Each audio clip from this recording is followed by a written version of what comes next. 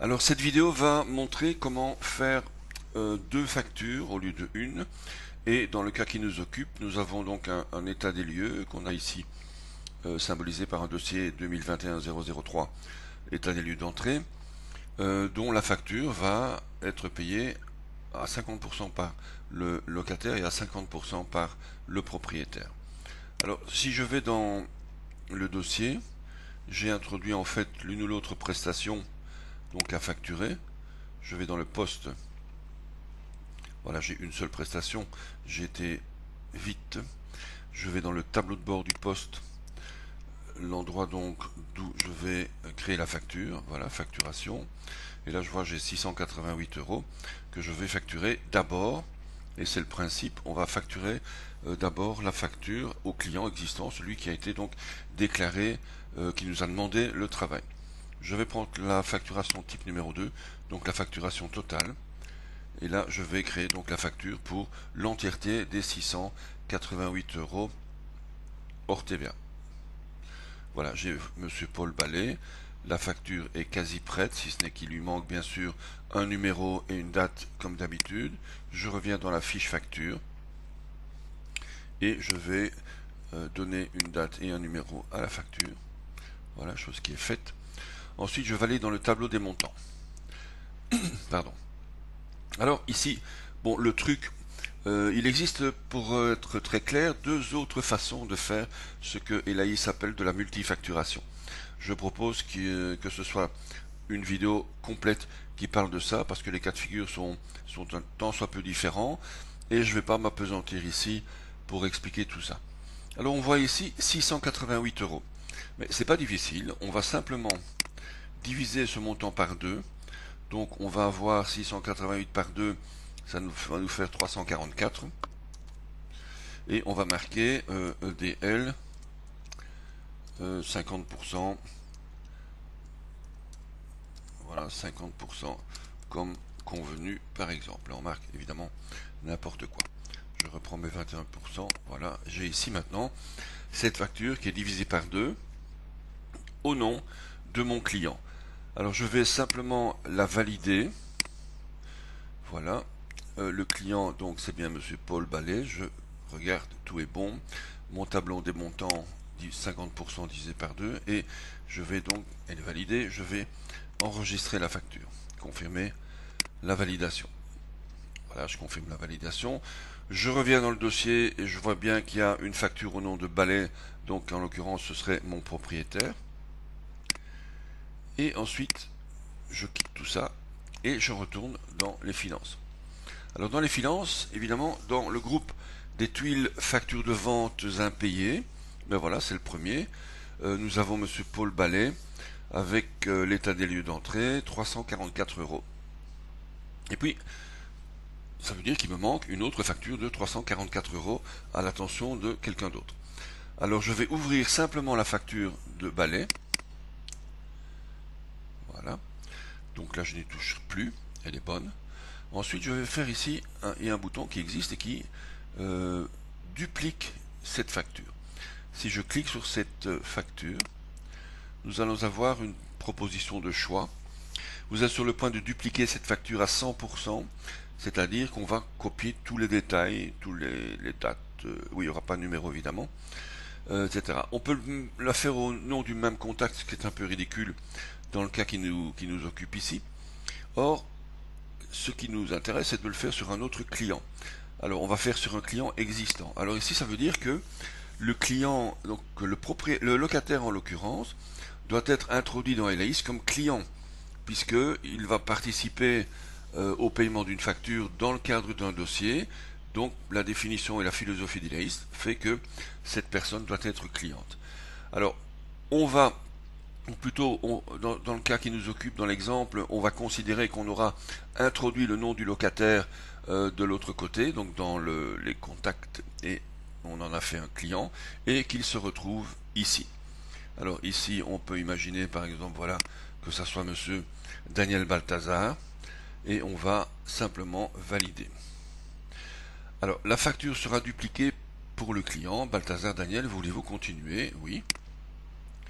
Voilà, la facture est simplement dupliquée, donc on a pris strictement tous les éléments de la facture, sauf le destinataire bien évidemment. Je vais ici sortir de la facture de M. Ballet. Alors, Balthazar n'apparaît pas encore ici. Et il, il, apparaît, il apparaîtra dans la liste des factures à finaliser. Alors je vois ici qu'il y a effectivement une facture au nom de Balthazar pour 344 euros, donc c'est les 5%, les 50% pardon, de la facture de l'état des lieux. Je vais double-cliquer sur cette, euh, sur cette facture. Et euh, je retrouve maintenant une autre personne, je retrouve en termes de montant mes 344 euros, je retrouve le libellé que j'ai introduit pour euh, le propriétaire, c'est-à-dire 50% comme convenu. Euh, ce qu'il me manque, c'est un numéro de facture, puisque par définition c'est une facture différente. Je vais valider la facture de Monsieur Balthazar, pays destinataire manquant. Ah oui, le client évidemment n'est pas complet je vais, euh, on va valider, sortir plutôt, faire facture non validée.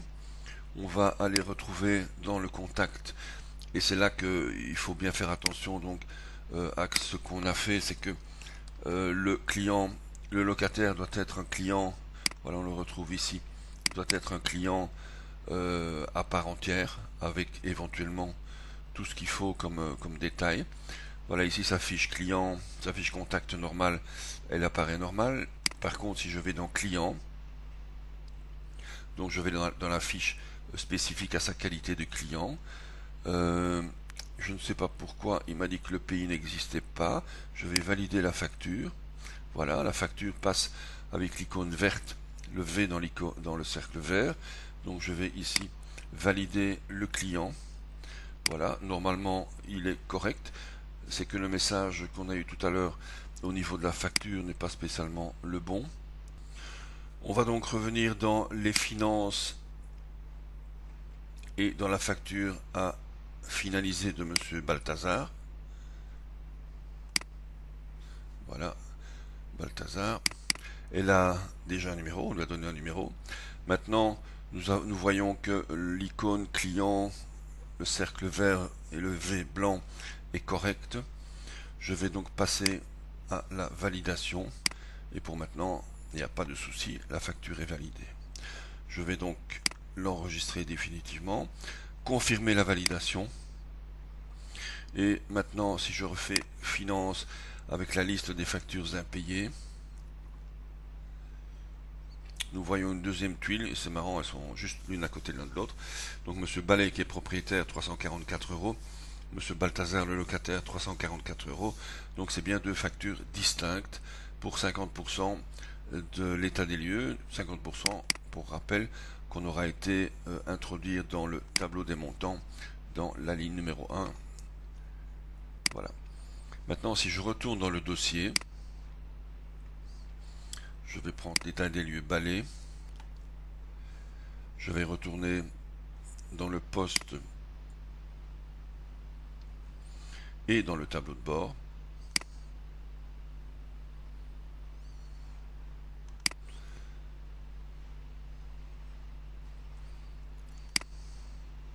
Facturation. Et maintenant, on voit bien que pour le dossier d'état des lieux, nous avons deux factures dans le tableau de gauche, l'une chez Balèze et l'autre chez Balthazar. Voilà une façon relativement simple de diviser une facture en deux.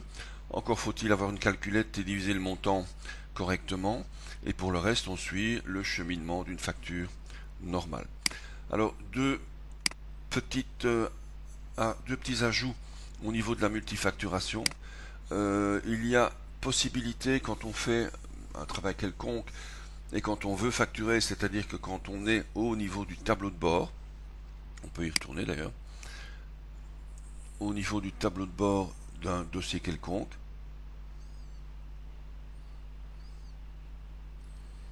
Ici, il y a plein de calculs qui se font. Voilà. J'ouvre le tableau de bord de ce dossier 2021-003. Et on va... Bon, on va pas refaire la facture ici, on va pas refaire l'exercice maintenant. Je propose que ça soit une euh, vidéo totalement séparée, bien claire à ce niveau-là. Imaginons qu'on n'ait pas les deux factures euh, Ballet et, Balthazar euh, qu'on vient de, rédiger et qu'on ait toujours 688 euros à facturer. Et on sait déjà tout de suite que euh, Monsieur Ballet nous a dit attention, moi je paye 50% et le locataire paye 50%. Alors dans ce cas-là, euh, si on n'avait pas encore fait les deux premières factures, les deux factures, on pourrait passer à la, multifacturation, donc qui est ici. C'est le septième choix ici, à la multifacturation. À ce moment-là, on ouvre le panneau inférieur où on a en premier Monsieur Ballet qui est là. On peut transférer Monsieur Ballet euh, ici par exemple. On a le client. il faut d'abord le transférer ici. Voilà. Donc la première personne à qui il faudra facturer, ce sera Monsieur Ballet. Et la deuxième personne à qui euh, il faudra refacturer les 50%, ce serait donc Balthazar qui est ici. Voilà. Et à partir de ce moment-là, je ne vais pas la faire, hein, je vais juste expliquer le, le, cheminement. Voilà, on a les deux destinataires de la facture. Le tableau ici est un peu tarabiscoté, mais on voit très bien, on retrouve très bien les deux noms Ballet Balthazar. Si on clique ici sur la répartition du montant, il faut d'abord que je bloque la liste des, des destinataires. Voilà, je clique sur la répartition des montants et là je vais, euh, par exemple, je vais mettre euh, ici 50% euh, pour Monsieur Ballet et 50% pour Monsieur Balthazar. Si je maintenant je valide, voilà, on voit ici dans le tableau qui doit être un tout petit peu éclairci les 50% dans la colonne pourcent et à partir de ce moment-là, je pourrais générer la facture. Donc ça, c'est quelque chose qu'on peut faire directement quand il faut, il faut en être averti évidemment. Quand on fait la facture, attention, divisez-moi cette facture en deux ou plusieurs. Le tableau des destinataires peut-être euh, peut recevoir euh, autant de personnes qu'on veut, 50% euh, propriétaires, 50% pour ceci, pardon, 20% pour ceci, 20 autres pour cela, etc. Évidemment, dans le cas d'un état des lieux, c'est pas tellement pertinent. Voilà une autre façon. Une dernière façon de jouer sur la multifacturation, encore une fois, on l'expliquera dans une vidéo appropriée. C'est par exemple, je vais dans Finance, et là, il faut partir du principe que, par exemple, on fait un travail, et que ce travail a été facturé à euh, un propriétaire. On peut imaginer par exemple un bornage. On facture le bornage à un propriétaire qui nous dit Écoutez, monsieur, euh, je vais profiter de ce que le Code civil euh, me permet et j'ai proposé aux différents euh, propriétaires des, parcelles avoisinantes, j'ai proposé qu'ils interviennent, puisque leur limite touche ma propriété, j'ai proposé qu'ils interviennent dans les frais du bornage. Donc là, on a un propriétaire pour qui on a été borné et on a éventuellement deux ou trois voisins à qui on va proposer de partager, de partager et de participer aux frais de bornage à ce moment-là, il est clair que euh, la philosophie ou le principe de cet exemple, c'est que la première facture a été effectuée au nom du propriétaire, elle a été envoyée, et c'est seulement après coup qu'il nous dit attention, euh, veuillez s'il vous plaît diviser cette facture en autant de, de, voisins qui existent. J'ai leur accord, euh, vous pouvez facturer 25% à ce voisin-là, 30% à cet autre voisin-là, euh, et autant de pourcents aux autres voisins, et le reste, c'est moi qui le prends en charge. À ce moment-là, on va euh, simplement, je vais prendre le même exemple qu'ici, on va faire, euh, imaginons ce que c'est la facture qu'on a envoyée au propriétaire, eh bien on va passer à la multifacturation. Alors la multifacturation, les totaux ici doivent être bloqués, voilà. Et ici, on a un autre tableau qui va nous permettre de facturer d'une part au propriétaire qui arrive ici par défaut et à d'autres personnes qu'on va venir, euh, va, on peut en faire, mais on n'ira pas beaucoup plus loin évidemment. On va facturer par exemple, on va encore facturer à Balthazar, puisque c'est l'exemple qu'on a pris, voilà. Je vais facturer à Balthazar. Et puis je peux rajouter dans le tableau ici autant de destinataires euh, que le voisin a de que le propriétaire a de voisins et choisir la répartition en pourcentage euh, par la suite. Alors il y a une grosse différence entre le premier cas que j'ai indiqué et celui-ci, c'est que dans ce cas-ci, la facture originale globale a déjà été envoyée à monsieur Paul Ballet. Euh, ça veut dire qu'elle existe. Euh, donc on va ici générer, imaginons qui on va encore prendre un voisin pour l'exemple, on va chercher un autre, un dernier voisin pour l'exemple. et on va prendre par exemple, oui pourquoi pas cette société-là. Voilà. Donc ici on a trois sociétés. On retrouve l'icône verte qui nous dit que ok pas de souci, on peut facturer à ces sociétés-là. Donc ça veut dire qu'à partir d'ici, on va générer trois nouvelles factures avec des montants différents et des montants dont la somme globale sera donc les 100% de la facturation à effectuer sur le bornage. Mais ça veut dire aussi que la toute première facture des 100% qui a déjà été envoyée au propriétaire existe. Alors la différence ici, c'est que en générant les factures, chose que je ne vais pas faire, en générant les factures ici, automatiquement, Elaïs va d'une part créer les trois factures euh, pour le total des 100% et va générer automatiquement également la note de crédit pour la facture initiale.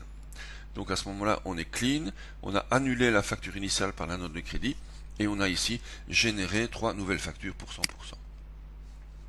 Voilà, je ne vais pas euh, aller plus loin pour l'instant. Je suppose et j'espère que euh, cet exemple suffira que pour aller plus loin. Mais donc encore une fois, je pense faire dans le détail cette fois-ci euh, une vidéo relative à la multifacturation. Voilà, je vous souhaite à tous et à toutes une bonne journée.